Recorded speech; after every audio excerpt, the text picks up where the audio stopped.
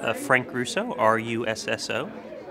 And we would like for you to tell us why you think the Integrity Summit is There's, like I was telling uh, Russ earlier, I think there's many, many reasons, but the type of business that we're in, um, I work for, I'm the Vice President of Risk Management for Silverado Senior Living, and we care for elderly people with dementia, Alzheimer's, Parkinson's.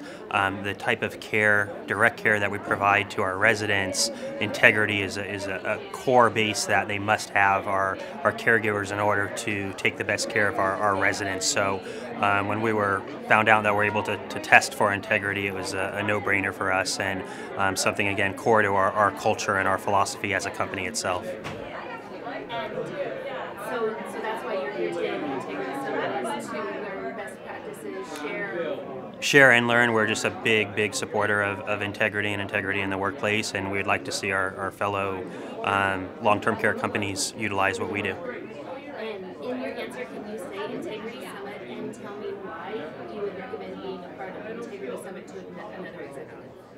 Uh, I think the Integrity Summit is, is wonderful. I think it's a, way in, in a hardening uh, market and, and tough financial times to actually get the best employees working for you and also save money in the long run um, in prevention of, of lawsuits and um, turnover and workers' comp claims. Thank you.